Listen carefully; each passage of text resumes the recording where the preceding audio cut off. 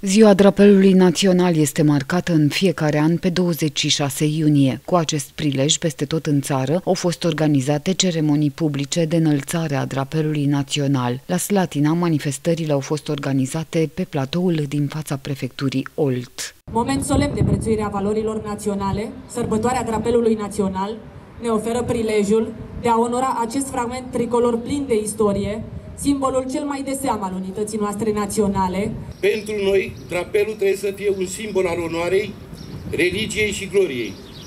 El evocă trecutul glorios de luptă al bravilor noștri eroi, drept pentru care vom trimite un gând special pentru militarii români care servesc patria sub tricolor, uneori cu jertfa supremă, oriunde s-ar afla, în țară sau străinătate.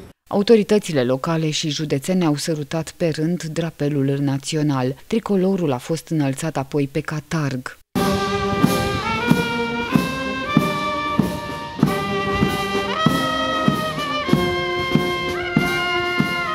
Manifestările s-au încheiat cu o paradă militară. Forțele de ordine au defilat pe bulevardul Alexandru Ioan Cuza în aplauzele celor prezenți la eveniment.